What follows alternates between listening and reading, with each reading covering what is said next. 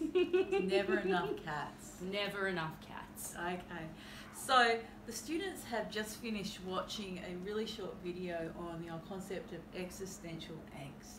You know, that idea that the, the, the overwhelming anxiety and sense of of uh, loss of focus in your life when you realize that it's essentially meaningless and you need to find your own meaning in the life. And we can apply that to, a reading of Frankenstein, can't we?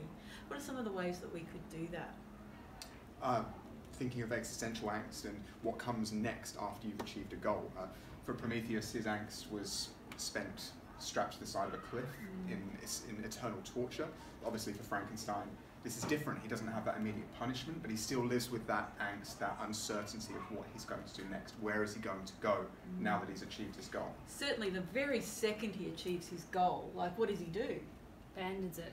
Immediately, just abandons that what kid. What have I done? And yeah, the ultimate deadbeat dad. He takes off and he spends the rest of the time like trying to distance himself from his responsibility. Like, you know, he calls it the creature, the monster, the wretch, you know. It's all being, until he accepts that he starts using that language on himself and accepts his responsibility and steps up to it and tries to atone for it. Essentially, he is running from his sense of responsibility. It's a really interesting way to look at it. You can look at the monster's feeling the angst as well. I mean, what is my purpose in the world? I have been created, I have been abandoned.